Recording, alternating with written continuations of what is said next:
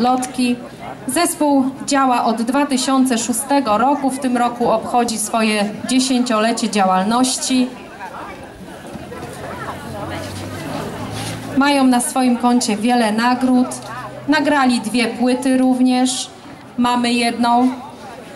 W 2014 zespół odbył kilka koncertów w Austrii na zaproszenie e, przez lokalne władze. Także też koncertuje zespół w Europie.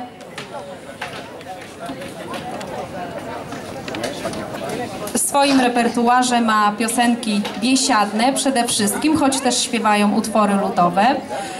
Dzisiejszy repertuar to W zielonym gaiku, Hulajdusa i Marika. Zapraszam do posłuchania.